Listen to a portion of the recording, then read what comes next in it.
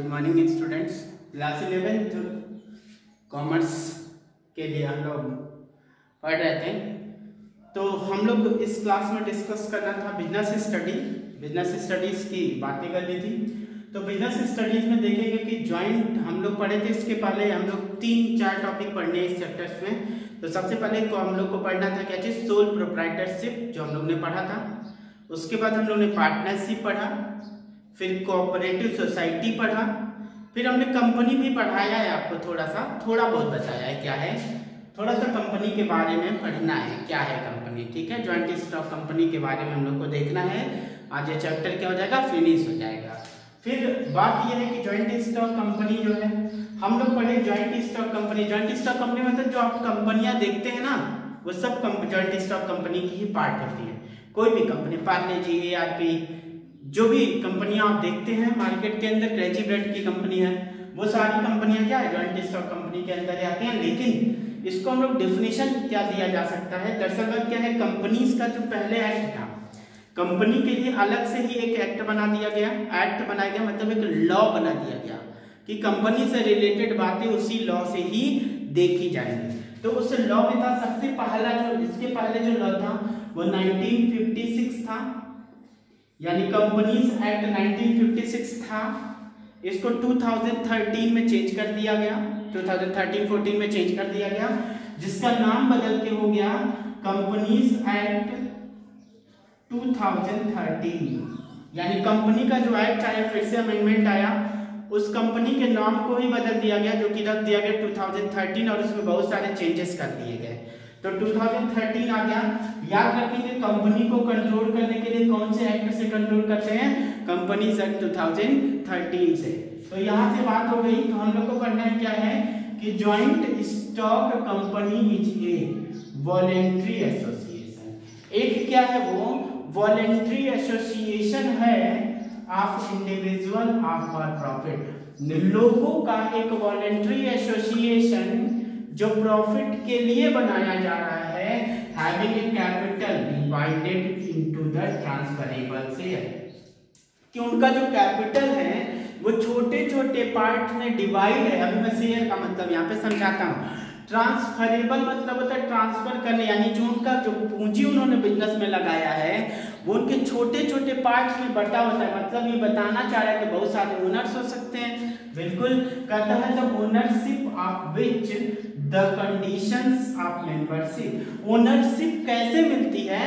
उनके मेंबरशिप के ऊपर डिपेंड करता है। उनके मेंबरशिप के ऊपर डिपेंड करता है वो कंपनी की ओनरशिप है उनके पास या नहीं है। यानी कि जो ज्वाइंट स्टॉक कंपनी है, एक इंडिविजुअल की वॉलेंट्री एसोसिएशन है, जो प्रॉफिट को डिवाइड करने के लिए प्रॉफिट को डिवाइड करने के लिए वो लोग बनाते हैं। इसमें कैसे होता है? उनका जो कैपिटल होता है, जो वो लोग कैपिटल लगाए होते हैं ना, वो छोटे छोटे पार्ट्स में बरसा होता है। शेयर क्या होता है?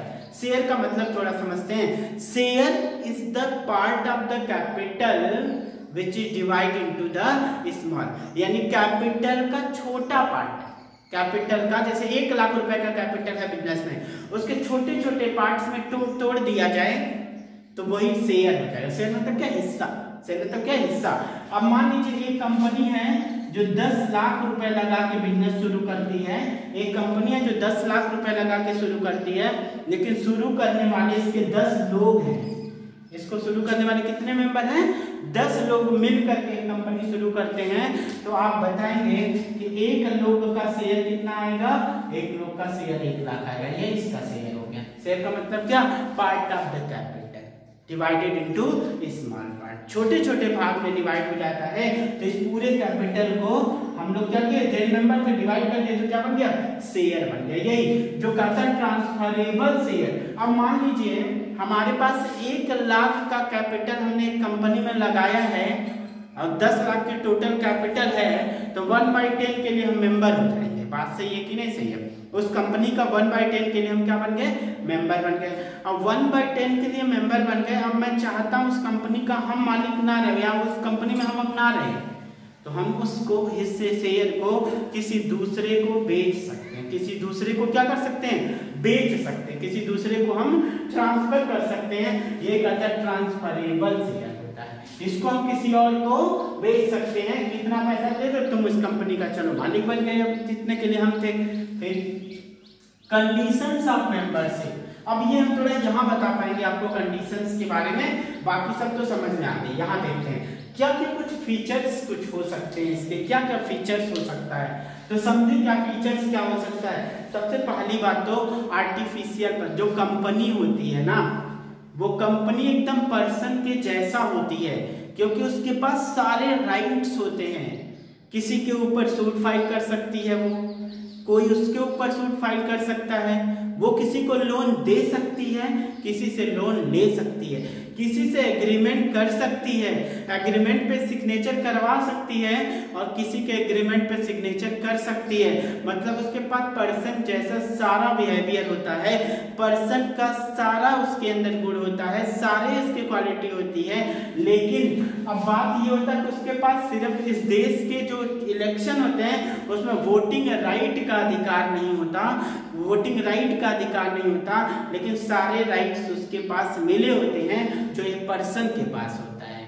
तो इसीलिए अब क्या होता है, ये ऐसा पर्सन है जिसको पर्सन ने ही, व्यक्ति ने ही बनाया है, जिसको व्यक्ति ने ही क्या किया है, बनाया है। कुछ लोगों ने ही उसको एक लीगल लीगल एग्जिस्टेंस दिया है लीगल स्टेटस दिया है। इसलिए उसको बोलते हैं आर्टिफिशियल मतलब क्या? जो मैन मेड हो, आदमी जैसा हो, बनाया गया है। आर्टिफिशियल पर्सन है। अब बात करें, कोई मूवी देखे होंगे आप लोग आप लोग रोबोट का।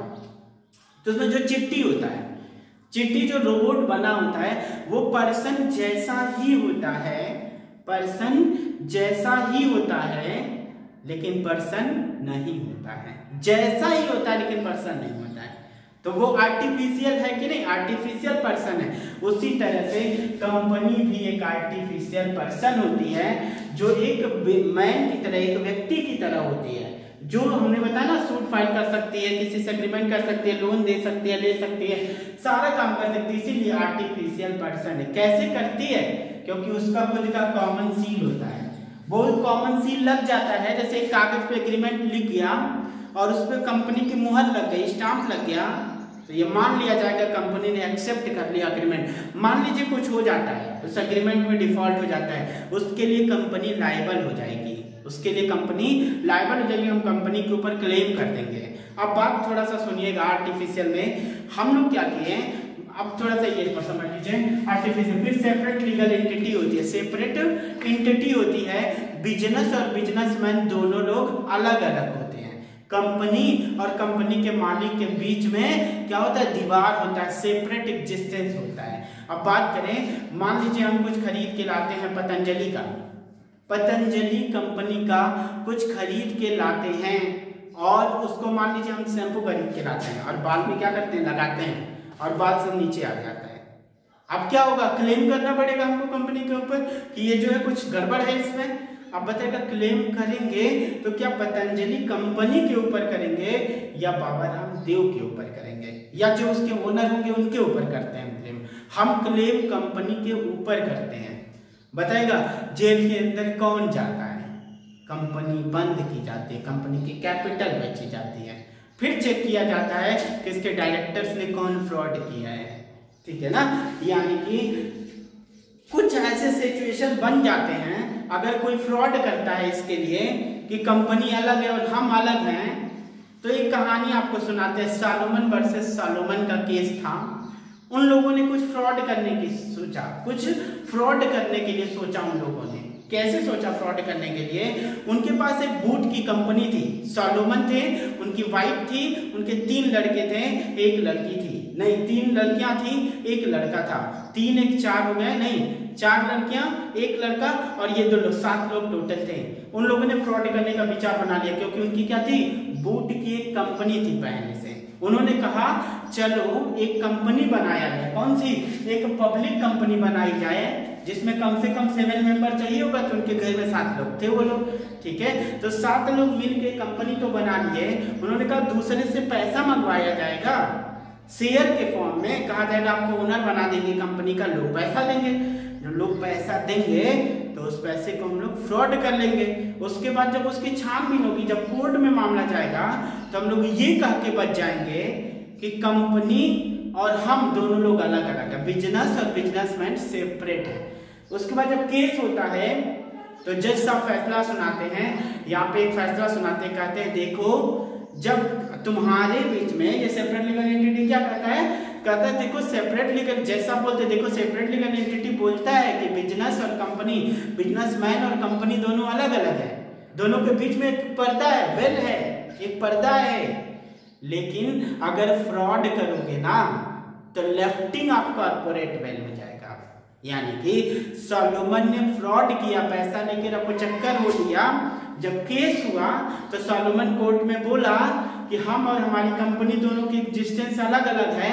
हम पैसा नहीं दे पाएँगे।